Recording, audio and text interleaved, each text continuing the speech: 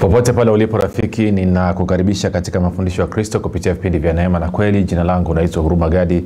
Ninafuraha kwamba umeweza kuungana nami kwa mara nyingine tena ili kuweza kusikiliza kile ambacho bwana wetu yesu kristo ametuandalia. Kumbuka mafundisho ya kristo yanakuja kwako kila siku muda na wakati kama huu yakiwa na lengo la kujenga na kuimarisha imani yako. Wao unanisikiliza ili uweze kukua na kufika katika cheo cha kimo cha utimilifu wa kristo. Kwa lugha nyingine ufike mahali uweze kufikiri kama kristo uweze kuzungumza kama kristo na uweze kutenda kama kristo kufikiri kwako urafiki kuna mchango wa moja kwa moja katika kuamini kwako. Ukifikiri vibaya maanaake ni kwamba utaamini vibaya. Lakini kama utafikiri vizuri basi ni dhahiri utaamini vizuri. Hivyo fanya maamuzi ya kufikiri vizuri.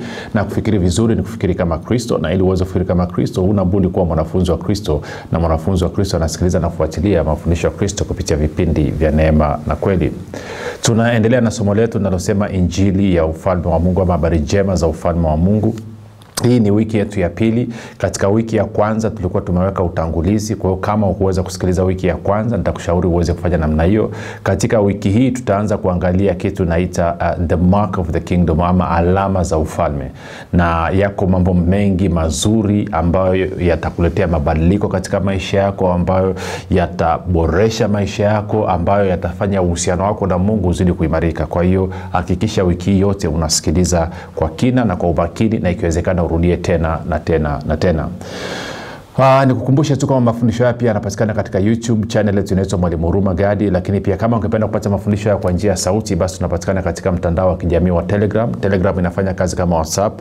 Kwa hiyo kama hauna telegram nenda kwenye app store pakua alafu kisha pakua tutumia ujumbe. Kuna grupu linaitwa mwanafunzi wa kristo nao utaunganishwa. Namba ni 7895242 baada ya kusema hayo basi namshukuru mungu kwa ajili ya kwako wewe ambao umekuwa ukisikiliza na kufuatilia mafundisho ya kristo na kuhamasisha wengine waweze kusikiliza. Pia wewe ambao umekuwa ukifanya maombi kwa ajili ya wasikilizaji wa vipindi vya neema na kweli na kwa ajili ya kwangu mimi pamoja na timu yangu lakini pia wewe ambao umekuwa ukishiriki na kuchangia gharama za kupeleka injili kila mwezi ili watu wengi zaidi waweze kufikiwa na kwa maana hiyo basi kuleta mabadiliko makubwa. Kumbuka nitaendelea kusisitiza tena kama hujafanya maamuzi ya kuwa partner wa vipindi vya neema na kweli ningeku si uweze kufanya namna hiyo ili tuweze kufikia watu wengi. Kama mafundisho yanakufurahisha yana yanakujenga yanakuimarisha jua kuna watu wengine pia nao wanalia kwa mungu usiku na mchana wangependa na wao waweze kupata hicho unachokipata wewe.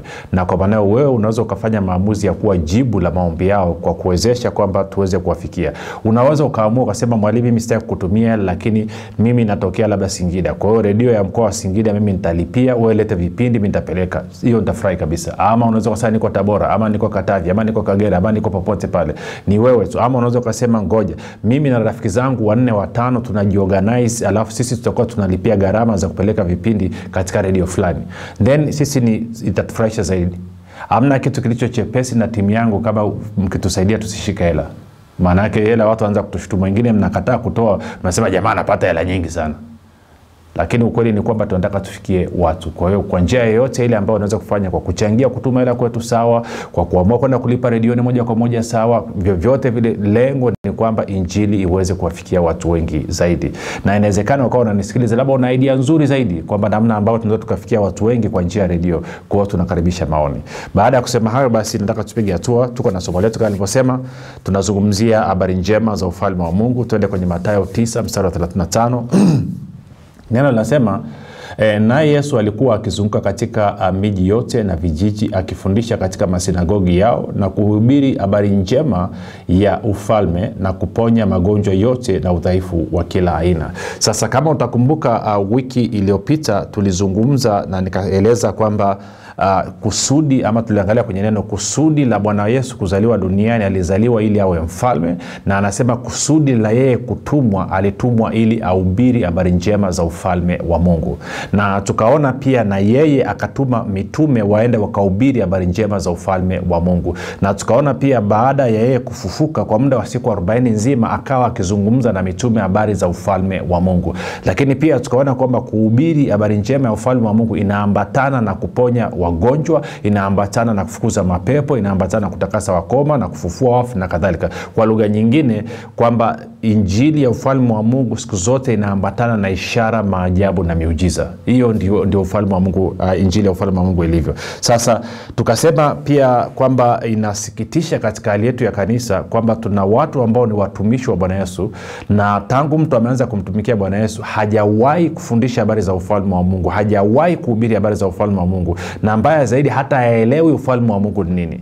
Na hilo ni tatizo kwa sababu tulisema uh, E, bwana yesu anasema kwa kusudi hili nalitumwa. Nimetumwa nije nihubiri habari njema ujio wa habari njema za ufalme wa mungu.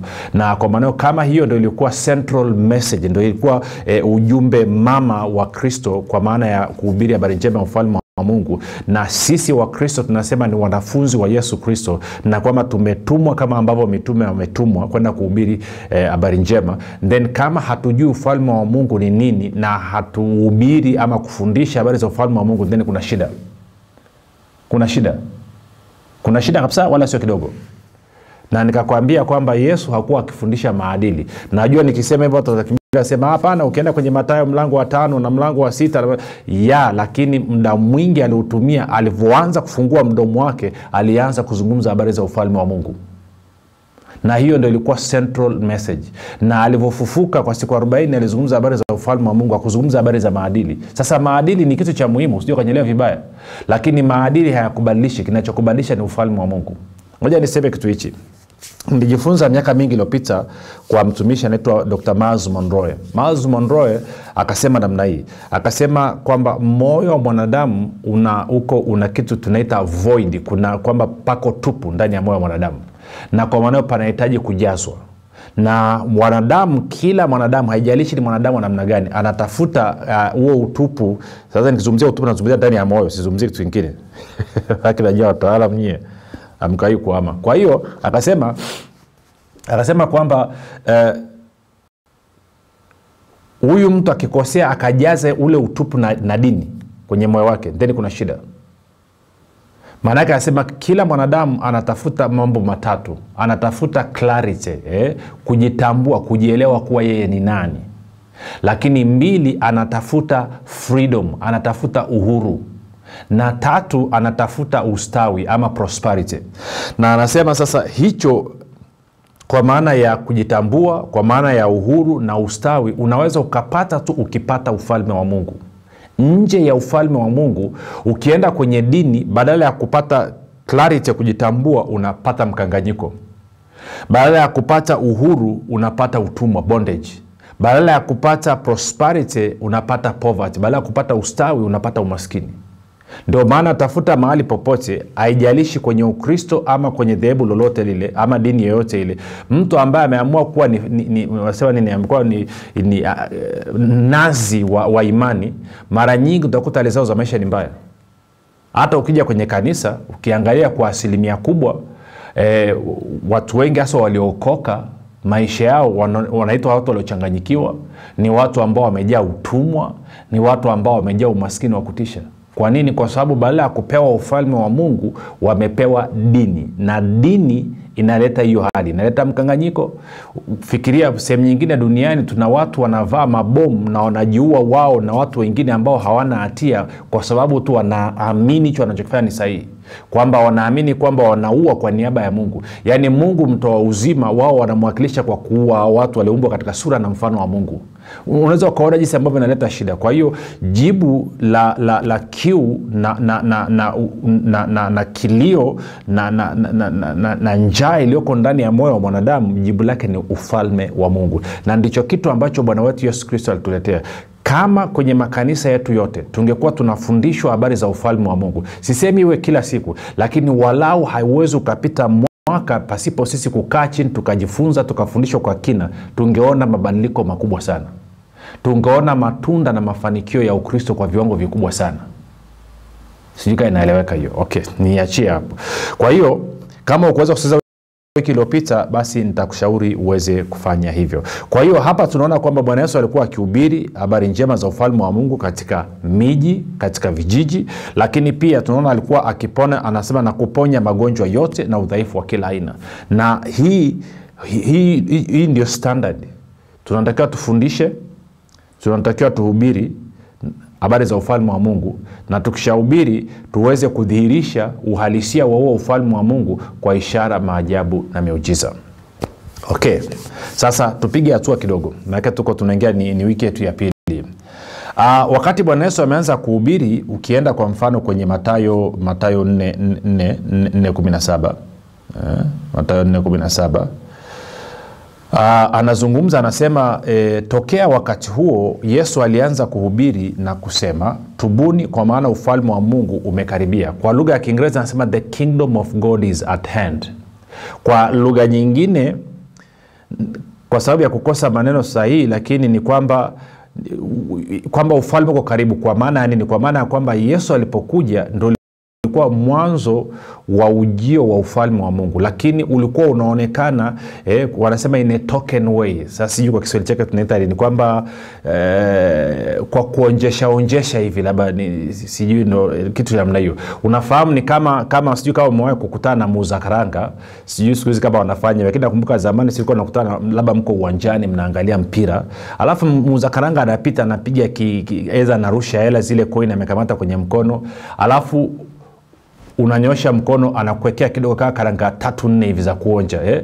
unaonja zile ukionja zile basi kama una ka, ka, ka shilingi hamsini kako una shilingi ishirini mfukoni unazama mfukoni unasema nipimie kwao anakupimia za kutosha. Kwa hiyo anakuonjesha. Kwa hiyo bwana yesu naye alikuja akiwa anatuonjesha ufalme. I'm token of the kingdom. Kwamba anatuonjesha tunaonja kidogo. Tunaanza kupata picha ya jinsi ambavyo maisha yanatakiwa kuwa ndani ya ufalme wa mungu. Kwa hiyo tunaona kwamba mamlaka anayotembea nayo tunaona jinsi ambavyo watu wanaponywa watu wanafunguliwa mapepo wanafukuzwa wafu wanafufuliwa wakoma wanatakaswa. Sehemu ambako kuna upungufu wa vyakula then vyakula vinakuwa multiplied vinazidishwa watu wanakula wanashiba. Tunamwona yesu akitembea juu ya bahari tunamwona yesu akituliza kiburi cha, cha, cha bahari na kadhalika na kadhalika na kadhalika. Kwao alikuwa anatuonyesha uh, maisha ya ufalme. Anasema hivi ndivyo itakavyokuwa na tunafahamu pia tuliona uh, wiki iliyopita katika luka 17 mstari wa 21 mafarisayo anamuuliza ufalme wa mungu utakuja lini? Bwana yesu anaambia ufalme wa mungu auji kwa kuuchunguza. Ufalme wa mungu umo ndani yenu. Kwa lugha nyingine anasema kwamba ufalme wa mungu utakapokuja huu ufalme utakuwa ndani yenu. Lakini pia kitu kingine akazungumza kwenye marko tende marko 9 marko mlango wa 9 uh, mstari wa kwanza anasema huyu ni bwana yesu anaongea na mitume. Akawaambia amin nawaambia pana watu katika hawa wasimamao hapa ambao hawataonja mauti kabisa hata watakapouona ufalme wa mungu umekuja kwa nguvu. Sasa ya nadhani ndo tafsiri sahihi hiyo. Maanake kwa kiingereza anasema kwenye new king james version anasema uh, assuredly i say to you that there are some standing here who will not taste death till they see the kingdom of god present in power. Mpaka watakapoona ufalme wa mungu upo katika nguvu. Upo katika nguvu. Ama umekuja katika nguvu. Translation nyingine tafsiri nyingine wanazungumzia kwamba umekuja katika nguvu. Kwa king james they will see that the kingdom of god has come with power. Kwamba ufalme wa mungu umekuja na nguvu umekuja katika nguvu. Kwao kwa lugha nyingine alikuwa anazungumzia kumbuka alikuwa anatuonjesha onjesha tu. Kwa hiyo sasa anasema kwamba ufalme wa mungu utakuja katika fullness katika utimilifu wake. Sasa hilo lilitokea lini? Kama unakumbuka wiki iliyopita wakati nakufundisha sasa twende nika uh, okay sio hivyo. Turudi hapa. Ya, wakati nakuashitele matayo 12 matayo 12 Eh, unajua ndo raha ya kusoma bibilia ukiwa hauna notes alafu mnajadili haya mambo basi mnaenjoy. Unaweza kwenda upande wowote unaweza kwenda kaskazini kusini mashariki magharibi. Kama una notes kasheshe. Okay tende Mathayo 12 mstari wa 28 bwana yesu anasema hivi lakini mimi nikitoa pepo kwa roho wa mungu basi ufalme wa mungu umekwisha kuajilia nikakwambia nika kwamba ufalme wa mungu unabebwa na roho mtakatifu ama ufalme wa mungu uko ndani ya roho mtakatifu.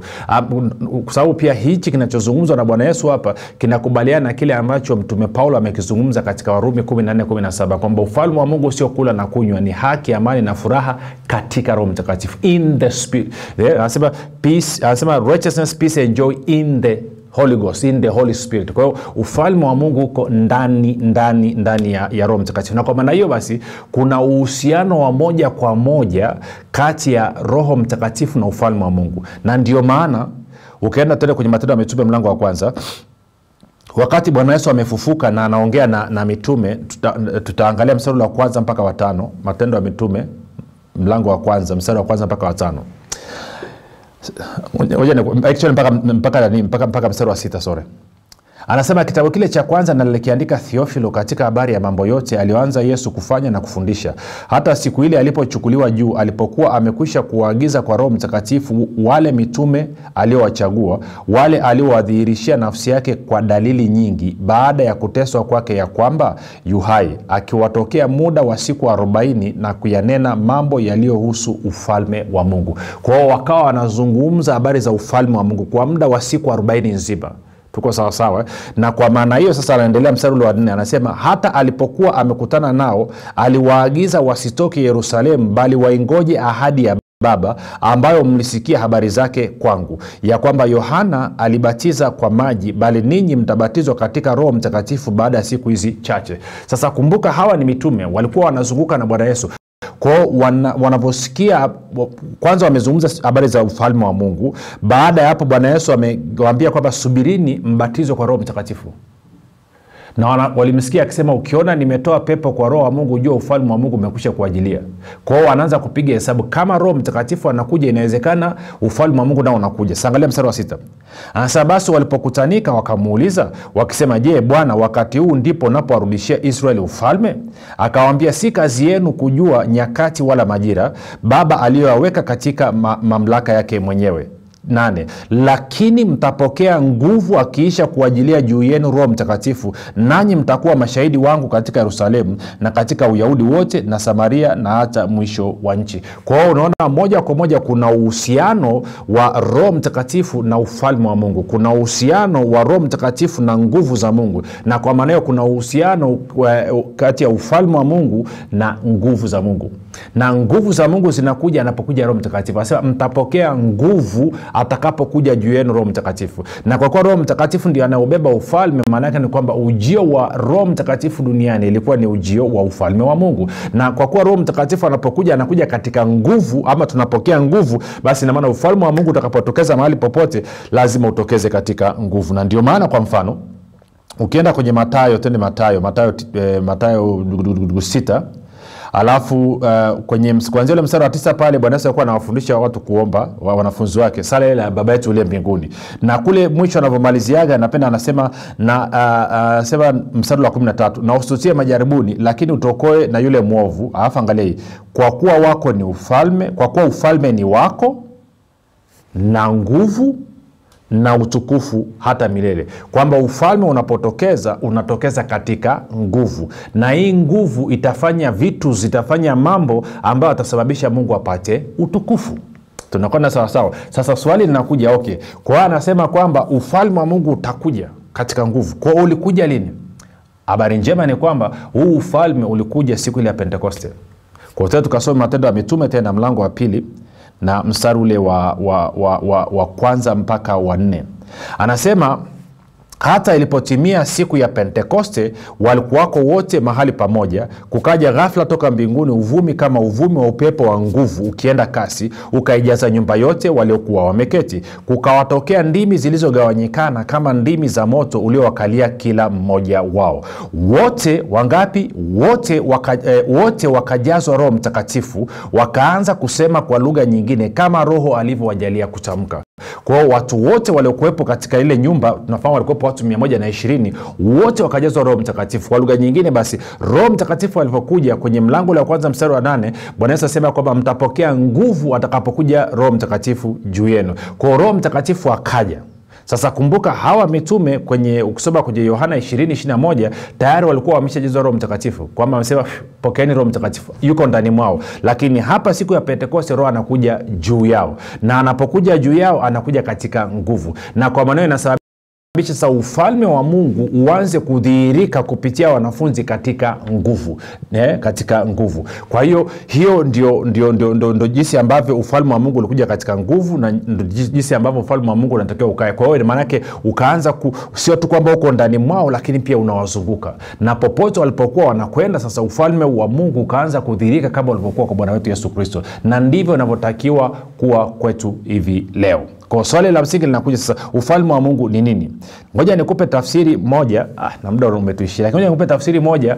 Kumbuka nilisahau kusema kwamba mwisho wa vipindi mwisho wa kipindi tunafanya maombi kwa ajili ya wagonjwa. Kwa hiyo kama uko mgonjwa kaa baada ya dakika moja mbili hivi tutafanya maombi kwa ajili yako. Uh, nikupe tafsiri ya ufalme wa mungu. Kwamba ufalme wa mungu ni hali ya kiroho inayompa mwanadamu kibali na kumwezesha kushiriki uzima wa mungu pamoja na maisha ya mbinguni hapa duniani sasa hivi.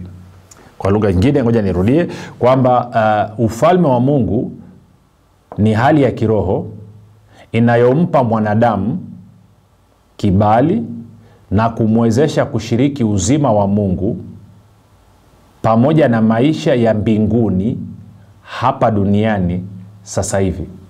Nitarudia kwa mara ya mwisho tena.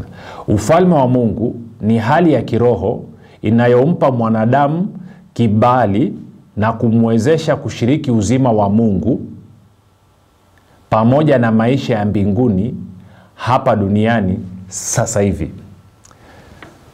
Hiyo hiyo ndio tafsiri ya ufalme wa mungu. Kwa hiyo sasa tunaposema kwamba tunaleta habari njema za ufalme wa mungu maana yake ni kwamba tunazungumzia ujio wa ufalme wa mungu hapa duniani. Na mahali popote ufalme wa mungu unapotokeza basi lazima mapenzi ya mungu yafanyike katika lile eneo ama pale mahali kama ilivyo mbinguni ndo baba anasema baba yetu uliye mbinguni jina lako litukuzwe ufalme wako uje mapenzi yako yatimizwe hapa duniani kama ilivyo mbinguni. Mapenzi ya mungu yanavyotimizwa hapa duniani kama ilivyo mbinguni maana yake mungu anatukuzwa kwao kazi ya ufalme wa mungu ambayo ni serikali ya mungu kazi yake ni kuhakikisha mapenzi ya mungu yanatimizwa hapa duniani kama ilivyo mbinguni. Na mahali popote ambapo mapenzi ya mungu yanatimizwa kama ilivyo mbinguni basi maana yake ni kwamba katika hilo eneo ama hapo mahali maana yake ni kwamba jina la mungu limetukuzwa. Maana yake ni kwamba mungu ametukuzwa sasa leo hii pia ufalme wa mungu uko tayari kuhakikisha kwamba mapenzi ya mungu yanatimia katika maisha yako. Kwao kama una ugonjwa na tatizo lolote ngoja tufanye maombi kwa ajili yako. Ngoja tufanye maombi kwa ajili yako. Na wengine wanasema kwamba "Ah, mwalimu jana uliomba juzi niliweka mkono lakini siku, siku, usijali. Pokea tena uponyaji wako pokea uzima wako. Tuko sawasawa eh, kwa hiyo tuombe. Katika jina la yesu kristo wa nazareth uponyaji huu ni wa kwako na kufunguliwa huku ni kwako kwa sababu ya kile ambacho yesu kristo amekifanya. Hivyo naamuru kila aina ya udhaifu kila aina ya ugonjwa kila aina ya kifungo kuondoka na kukuachilia sasa hivi katika jina la yesu kristo wa nazareti. Natangaza uhuru wako sasa. Natangaza uponyaji wako sasa katika jina la yesu kristo wa nazareti. Anza kufanya kile ambacho ulikuwa uwezi kufanya. Kama ulikuwa unasikia maumivu anza kuminya hapo sehemu. Utasikia maumivu yanaondoka katika jina la yesu kristo wa nazareti katika jina la yesu kristo wa nazareti kuna kuna kuna kuna ndugu nanisikiliza actually naona mwanamke na mwanaume kwenye goti la kulia mmekuwa mna tatizo kwenye goti la kulia lina maumivu makali sana. Mno mno mno mno mno mno mno mno in fact mmoja naona umefunga na bandage kabisa kwa ajili ya, ya kukupa support kama in, in, unapata aueni kufunga bandage. Hayo maumivu yanaondoka katika jina la yesu kristo wa nazareth. Cheki utakuta maumivu yanaondoka katika jina la yesu kristo wa nazareth. Kuna ndugu nanisikiliza wame kwenye, kwenye kichwa chako upande wa kulia E, sasa nielezeje uh, sio nyuma lakini karibu na nyuma upande wa kulia pamekuwa pana shida. Walivyoona hospitali wamekuambia una uvimbe e, ndani, ndani ya ubongo navyozungumza na wewe sasa hivi uvimbe unayeyuka katika jina la yesu kristo. In fact uvimbe ulikuwa umeanza kuleta shida hata jicho lako la kulia kuona limepoteza uwezo wa kuona. Unaona lakini kwa mbali kwa shida. Kwa sababu mishipa imebana kuna presha kwa hiyo katika jina la yesu kristo huo uvimbe unayeyuka unaondoka sasa hivi. Katika jina la yesu kristo wa nazareth. Katika jina la yesu kristo wa nazareth. Yes yesu bado ni mwema yesu bado ni mponyaji hajabadilika. Kwa hiyo tupe ushuhuda wako tuandikie tuambie bwana amefanya nini. Tunataka tufurahi pamoja na wewe. Tunataka tumshangilia na kumtukuza mungu pamoja na wewe. Usikae kimya na ushuhuda wako usimnyime mungu utukufu. Tumeona hapa ufalme ukija mapenzi ya mungu yanatimia. Mapenzi ya mungu yakitendeka kama ilivyo dunia nani kama ilivyo kule mbinguni ikitendeka hapa duniani mungu anapata utukufu. Usimnyime mungu utukufu kwa kuacha kutuambia mungu amefanya nini katika maisha yako. Lakini kikubwa zaidi kama hujampokea yesu kristo kuwa bwana mwokozi wa maisha yako basi maanaake ni kwamba unajifungia nje ya huu ufalme na mi nataka uwe ndani ya huu ufalme. Kwa fanya maombi yafuatayo. Sema bwana yesu naamini kuwa ni mwana wa mungu. Ulikufa msalabani ukaondoa dhambi zangu zote. Kisha ukafufuka ili mimi niwe mwenye haki. Nakiri kwa kinywa changu ya kuwa wewe ni bwana na kukaribisha katika maisha yangu sasa. Rafiki kwa haya maombi mafupi kabisa nakukaribisha katika familia ya mungu. Uh, tukutane kesho muda na wakati kama huu. Jina langu naitwa huruma gadi. Nakumbuka yesu ni kristo na bwana